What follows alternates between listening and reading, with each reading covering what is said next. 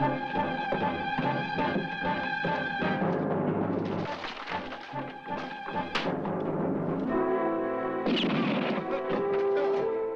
the great plains and deserts of the far west, the name of one man strikes terror in the hearts of the most savage killers. He appears from nowhere, claims his victims, then disappears as mysteriously as he came. His strange name is revered by some and hated by others. Starblack.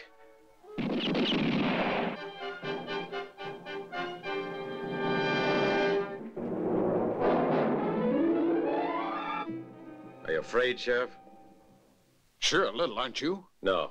Take my word for it. If he tries to make any trouble here, he's a dead man.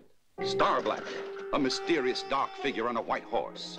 Many men would give a great deal to see the face behind this strange disguise. His vengeance is quick, relentless, and woe to the man to whom he sends a black star. I love you. I've always loved you. Ever since I saw you. How can you love me? You don't even know me. Goodbye. Wait.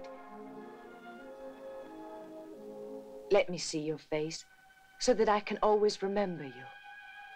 I'm sorry, Miss Caroline. That person who sees my face will never live to see another sunrise. Who is hidden behind that mask? And why is he so feared? Starblack. Swifter than lightning. Quick to punish. His methods are sometimes as crude as those of his adversaries, but they're much more effective. Not to say deadly.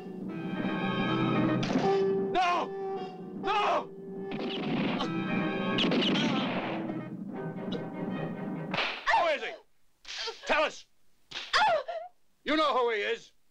You even had his star.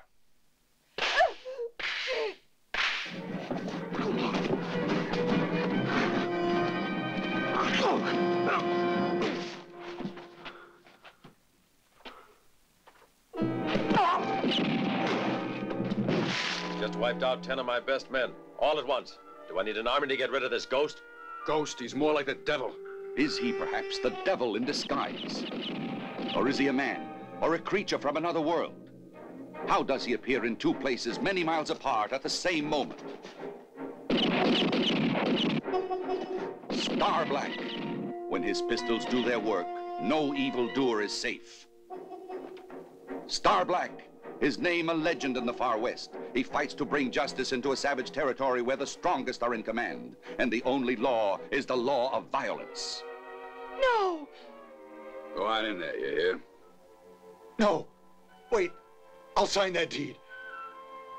I'll do anything you want, only let her alone.